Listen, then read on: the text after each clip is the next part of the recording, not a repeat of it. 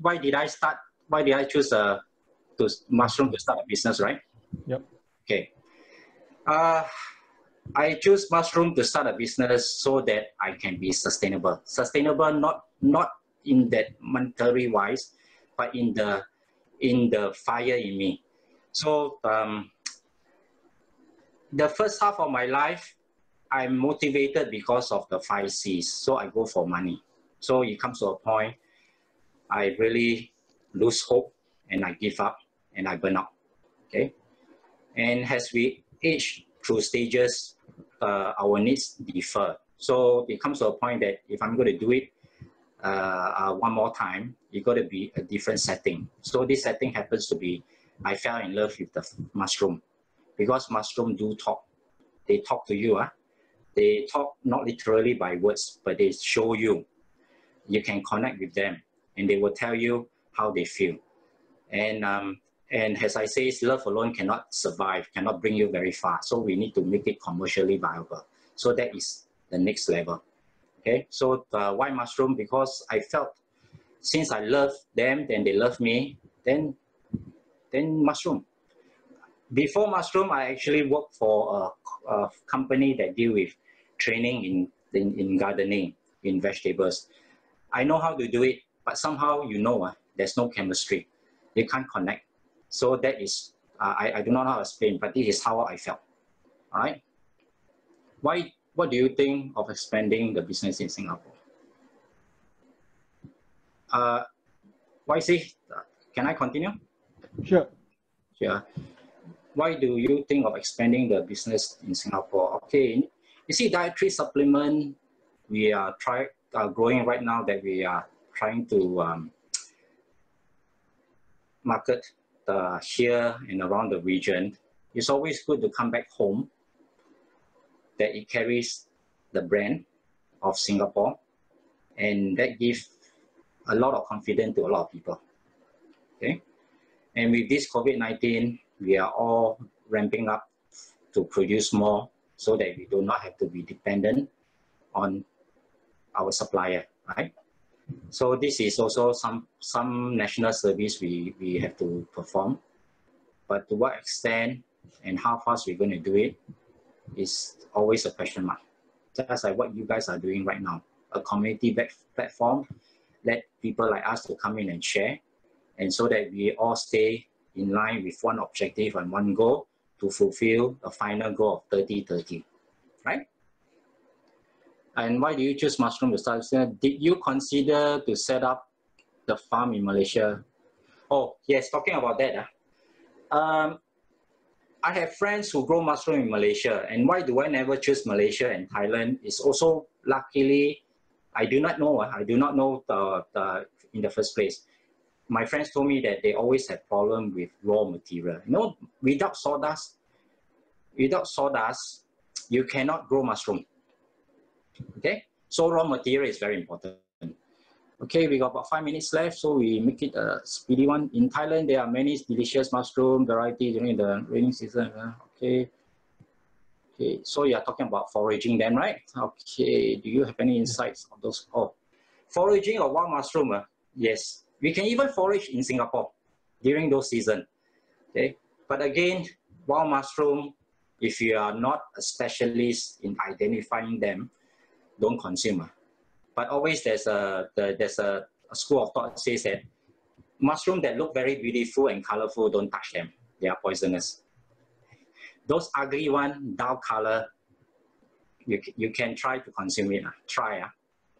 So the, my advice is if you're not sure, don't do it. Okay? But in Thailand, yes, they do. They do go into the forest. They will uh, forage the common one, which is a straw mushroom, and oyster mushroom, and and if you're lucky, you find a portal, uh, portal, portello, portello mushroom, something like that. No? Uh, so foraging is is it can be done. Uh. Okay, why do you choose mushroom? So, do you have any special permit to stay? Wow, say this is very technical. Special permit, of course, you need to have a special permit now. Set up a limited company. Uh. You want to set a limited company in Thailand? Come and look for me. I'm a specialist now. okay, how can new public housing be designed and built? Oh, that is a very good question. okay, urban farming, uh, you know, we have a lot of unused uh, places, building, they, they're waiting to be demolished. Why don't let us grow mushroom? No, mushroom is vertical farming now. Uh, we can, you give us a space as long as I find that the location is good, we do it. But if you ever want to do in a cave, uh, do you know what is the major uh, uh, is the major thing you need to settle if you want to grow up, grow in the cave. Mushroom can grow in the cave, provided you give them fresh air exchange. You make sure the ventilations are in place. You don't expect the mushroom to, to starve themselves and, and grow happily for you in the cave. You put yourself in the cave without ventilation, how will you feel? You see, the best measurement of their happiness uh, is not about the gadget. Yes, the gadget will help to a certain extent. It's about you. You go to the room, you stay there for five minutes. If you, if you are happy, the mushroom will be happy. You don't believe me? If you ever grow mushroom, you do that. Okay? So but uh, I'm not I'm not happy when I'm at, I'm at the top of the car park, you know, rooftop. it is so hot, you know. Would it actually affect the? You, you yeah, can't. that one, uh, uh, we can't grow mushroom uh, because direct sunlight, as I told you, mushroom are not plants. Uh, they don't need sunlight. Uh. Okay, how do you solve the language problem? Oh, solving the language problem, very easy. You just speak English, they speak Thai, then you connect. Okay, that is the story. it's true. Uh. You see, languages are universal. You don't need to really literally speak the language. You just speak what you want to speak in that in that form. They will tell you, for example, when I sell mushroom, they will they will talk talk talk. Okay, uh, 20 baht. That is their question. That is their language. All right, and then they take out the money. I don't understand what they are saying, but I know from there that they're asking how much. And then they talk further, means they want to bargain. I'm sorry, ma'am, only 20 baht. How to bargain? Really fresh, no problem. Then they also understand what I'm saying, cannot bargain. So they pay. See, language are literally no barriers. This is how I overcome it. But of course, when it comes to really very team one, uh, then I pull along my staff. Uh. Okay. So, uh, Liam, there's actually one, one question about the latest innovation or research uh, in uh, this mushroom growing uh, that excites you. Anything that Okay, what mind? are the latest innovation research finding in the fungi culture that excites? Oh, yes, sir. Mm. I have a student uh, from Israel. You know what he tell me? Hey, Liam, apart from using sawdust, can we use the plastic, grind them into powder form and use it as substrate? You know what I say? I say, why not? I will not say no because I hate people to tell me no. Because when it's when we have not done it before, I say why not? I do not know how, but why not? But if you really if you really believe so, then go and find out. It's possible. There, there are people who say that mushroom eat plastic, uh, so I haven't really go and look into it. Okay, but um, you know the um, cannabis has already been legalized in Thailand, right? And because they, I mean, the goodness it carries, they haven't legalized magic mushroom, uh, follow facing, uh, which is the mother name, which is the surname. Okay, so that is also another aspect. But we are not going to uh, talk about that. We're not going to touch that uh, because it's never good. Okay, anything else? Uh, yeah, I think uh, did I miss any questions? questions.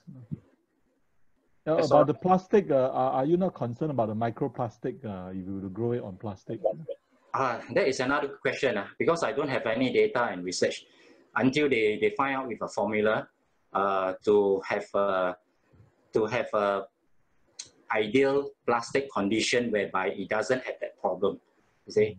But the big word is, can we use plastic to grow mushroom? Uh, it's a past 6.30.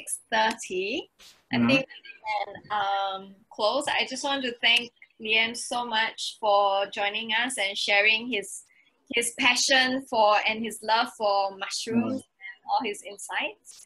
And I also want to thank everyone for being here, your presence, uh, and Sangeeta for setting up the pigeonhole link, YC for facilitating the discussion. Jamie has been the timer in the background, and uh, yeah, and have a good evening. We will see you next week. Yeah, one second. Oh, uh, yeah. We are looking for partners. Oh, we, are, yes. we are looking for partners uh, to, to invest in Mushroom World and to play a role in our bigger plans. If you're interested, please DM me or what or WhatsApp me or PM me or whatever, and we'll love to talk to you.